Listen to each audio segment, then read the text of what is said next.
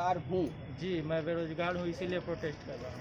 और मेरा प्रोटेस्ट सरकार से इसलिए है क्योंकि सरकार जितनी भी बहाली निकालती है, एक तो आज जैसा कि आप देखेंगे पिछले तो 2014 के बाद से लगभग सारी जो भी सरकारी नौकरियाँ सरकारी वैकेंसी उसमें सीटों की संख्या कम की गई है।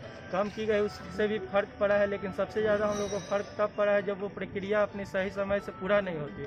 जी, कभी जी। कभी होता है कि एग्ज़ाम नहीं लिया जाता कभी एग्ज़ाम लेकर लड़कों को दो तीन साल रोकवा दिया जाता है और कभी कभी तो दो तीन साल के बाद पता चलता है कि पेपर लीक हो गया। यही सबको सुधारने के लिए और जो भी शिक्षा व्यवस्था है जो भी सरकारी नौकरी में जो देर हो रही है उसको सुधारने के लिए हम लोग अपने सरकार के सामने अपना विरोध कर रहे हैं। और सरकार से ही। मांग करेंगे कि जो भी इसमें त्रुटियाँ हैं उन्हें जल्द से जल्द सुधारे और हम लोगों को रोज़गार छात्र एकता जिंदाबाद। जिंदाबाद जिंदाबाद। छात्र एकता जिंदाबाद। जिंदाबाद जिंदाबाद। चलिए बहुत